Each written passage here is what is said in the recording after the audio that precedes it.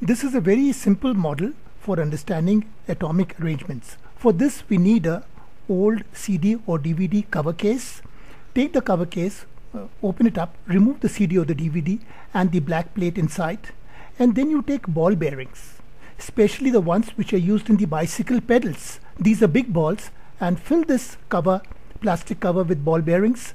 Shut the lid, take sticky tape and seal all the four sides with sticky tape so that none of the balls can fall off. This would make it tamper proof. The balls would stay inside.